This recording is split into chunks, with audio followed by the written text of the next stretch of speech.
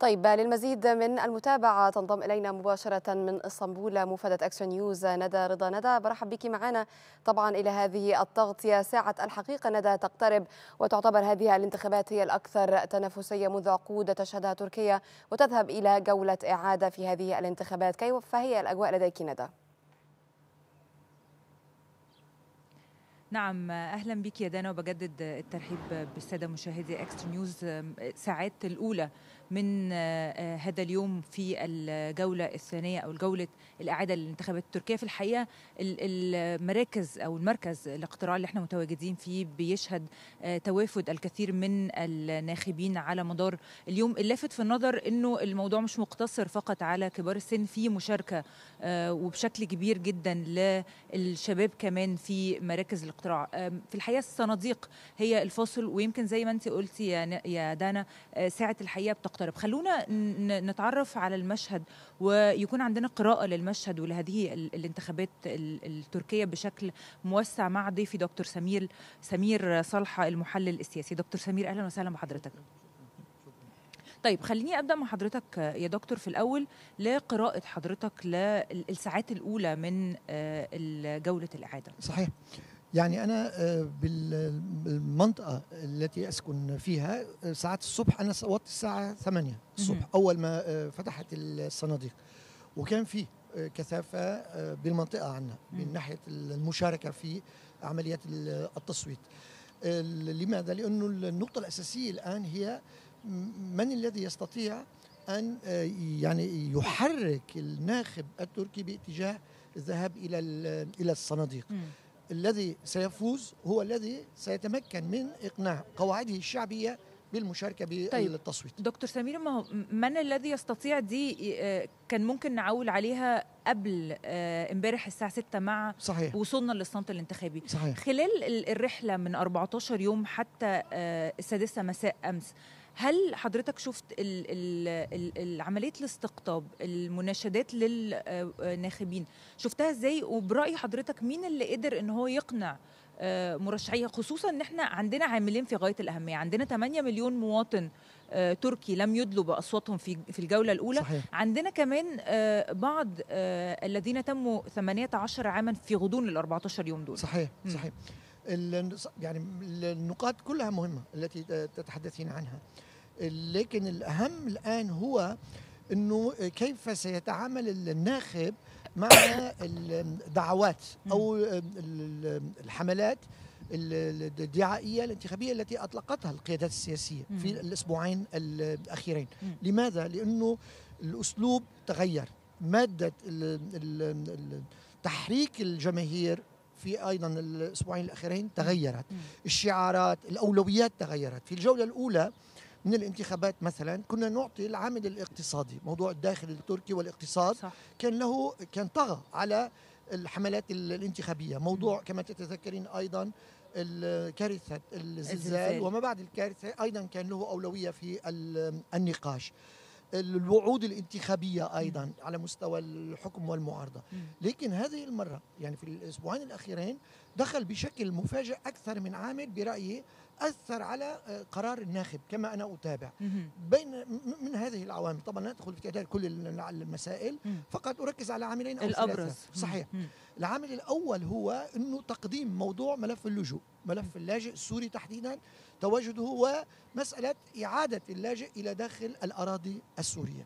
هذا كان يعني موجود في الجولة الأولى لكن كان قد تراجع هذا الملف إلى الدرجه المرتبه الثالثة أو الرابعة مم. على مستوى التأثير على قرار الناخب الان هذه المرة الأمور تغيرت تقدم هذا الملف مم. عندك عامل ثاني كما تابعتي أنت أيضا موضوع دخول ال- القومي اليميني أميت أوزدار مم. على عمل ال- التأثير باتجاه تحريك الناخب وقرار دعم وقوفه إلى جانب آه، زعيم المعارضة كمال كلجدار أولو صحيح أنا أعرف أنه حليف آه، أوزدار سنان, سنان أوغان أوغان ذهب بالاتجاه المعاكس وقرر الوقوف إلى جانب الرئيس رجب طيب أردوغان صحيح يعني لكن الذي نزل إلى الشارع. وحاول أن يؤثر أكثر في قرار الناخب كان أميت أوزدار. سنان أوغان لم يدخل على الخط إلا في اليومين الأخيرين وعبر الشاشات تحديدا مم. ميت أوزداغ حاول أن يحرك الصوت القومي اليميني القومي تحديدا في ملف اللجوء لذلك أنا وأنت سنعرف. كيف كان ارتدادات يعني تأثير دخول آه، أميت أوزدغ على الخط. وما هي النسب الانتخابية التي سيقدمها لمرشح طيب. المعارضة آه، هل من وجهة نظر حضرتك بما إنك تطرقت للنقطة المتعلقة بأميت أوزداغ أميت أوزداغ تحالف مع كمال كليشدار. أوكلو كما تفضلت وذكرت على الصعيد الآخر آه، آه، هنالك الحزب الشعبي الجمهوري يدعم الحزب ال- الشعب الجمهوري يدعم كمال كليشدار آم، أغلو بشكل كبير.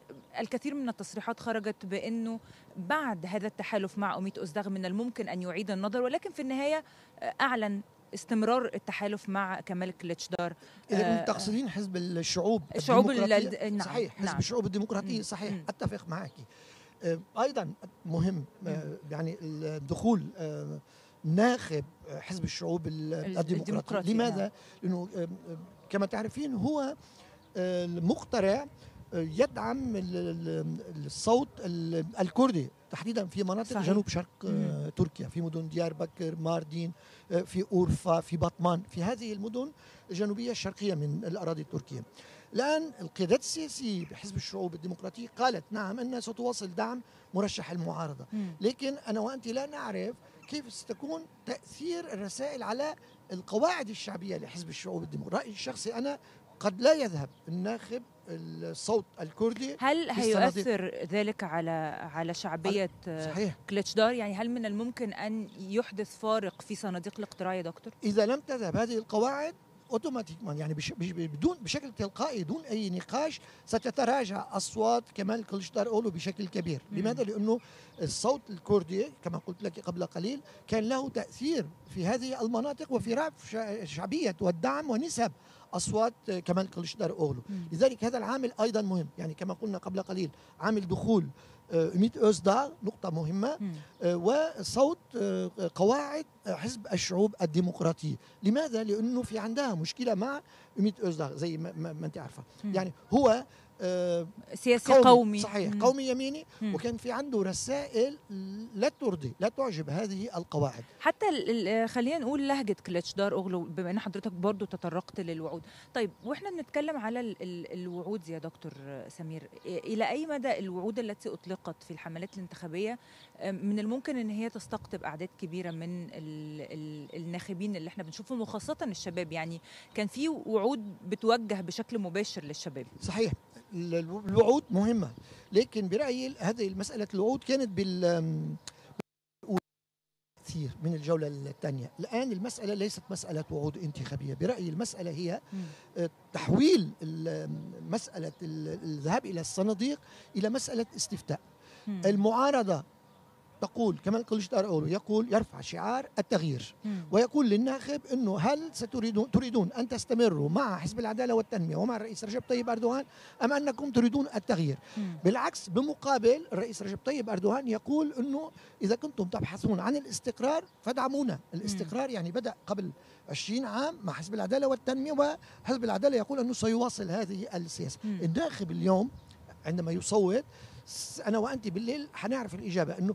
ماذا يريد الناخب؟ التغيير أم- إنه الاستمرار والثقة بحزب العدالة والتنمية؟ طيب لو حتى ال- الناخب التركي آه، راح للنقطة المتعلقة بالتغيير يا دكتور سمير أو حتى اختار الاستقرار آه، تركيا بشكل عام تواجه الكثير من التحديات ولو هنتكلم على الخطاب المتعلق بكمال كليتشدار أوغلو هو بيتكلم على آه، ال- الاقتصاد يمكن حضرتك قلت هو صحيح. ال- النقطة ال- ال- المهمة بيتكلم على السياسة الخارجية التركية ما إلى آخره كيف من الممكن أن تتعامل تركيا مع هذه التحديات؟ يعني ال- ال- المرشح الرئاسي الجديد أو الرئيس الجديد خلينا نقول لتركيا أمام تحدي كبير، ما هي أولوياته في المرحلة المقبلة؟ صحيح يعني في نقطة مهمة أشرت إليها في السؤال إنه صباح الغد الاثنين حسب النتيجة سنرى آه، مسار سياسي آه، جديد في تركيا على ضوء النتيجة مم. في الداخل والخارج. تحديدا إذا ما جاء كمال كلشدار أولو إلى ال- الرئاسة فهو طالما أنه رفع شعار التغيير سيط- سيطرح سياسات وخطط اقتصادية اجتماعية آه، ثقافية جديدة إلى جانب سياسة خارجية جديدة يمكن هو وعد لتركيا. بسياسة خارجية متزنة. صح مغايرة مم. يعني مثلا حزب العدالة والتنمية اختار الانفتاح أكثر على العالم العربي على العالم الإسلامي على إفريقيا والاقتراب من هذه المناطق وهذه العواصم والدول. كمال كلشدار اوغلو يعد ب إعادة التوازن. هو يقول أنه في توازن اختل لصالح منطقة على حساب منطقة ويعد بالانفتاح أكثر وإعادة العلاقات مع الغرب تحديدا مع الولايات المتحدة الأمريكية ومع العواصم الأوروبية إلى سابق عهدها. مم. يعني في تحول. مم. مثلا في العلاقة مع روسيا هذه أيضا ستكون مسألة أساسية. يعني من الذي سيفوز؟ سيحدد ربما سياسة جديدة مع روسيا. بالنسبة لكمال كلشدار أوغلو 100% سيكون في موقف جديد علاقات جديدة مع روسيا مغايرة للعلاقات التي بناها الرئيس رجب طيب أردوغان. على مستوى الشخصي مع بوتين كما تعرفين مم. وعلى مستوى ال- التنسيق الاستراتيجي بين موسكو وبين أنقرة إذا أتفق معك في نقطة أساسية يعني الأمور لن تكون كما كانت في السابق حتى الآن الآن. سيناريو آخر بقي الرئيس رجب طيب أردوغان وبقي حزب العدالة والتنمية وهو يسيطر على البرلمان حاليا بالأغلبية مم. العدالة والتنمية نفسه سيذهب رأيي الشخصي من خلال المتابعة طبعا هذا مم. سيذهب باتجاه مراجعة سياسته التي اعتمدها في السابق في التعاطي مع أكثر من ملف مثلا الملف السوري مم. طيب دكتور سمير آه، سؤال أخير لحضرتك بما إن حضرتك قلت على الأغلبية البرلمانية أم، حال فاز كمال كليتشدار أم، اوغلو بهذه الانتخابات الرئاسية كيف سيكون آه، آلية التنفيذ ال- الوعد خلينا نقول الأبرز اللي هو بيتكلم فيه حتى إن هو بيتكلم إنه من أولى والوعود كانت العودة إلى الحكم ال- البرلماني صحيح الآلية اللي هيتم من خلالها تنفيذ ذلك وهل ستكون تمرير المشاريع المشاريع حتى سهل في البرلمان مع هذه ال ال الهيمنة لحزب الشعب؟ الآن في نقطة مهمة مم. قرار الناخب ال- اليوم مهم للغاية مم. بالمساء إذا ظهرت النتيجة أنه الناخب يدعم التغيير ويريد أن يفتح الطريق أمام كمال كلشدار أولو كرئيس هذا يعني أنه الناخب يقول لكلا الطرفين عليكم أن تتفاهموا معا وتعملوا معا. رأيي الشخصي أنا المسألة صعبة جدا. يعني هذا لأنه في اصطفافات كما تبعتي وفي مواقف متباعدة يعني سياسات مغايرة لكل طرف. إذا إذا السيناريو الأقرب أن نذهب إلى انتخابات مبكرة جديدة في تركيا.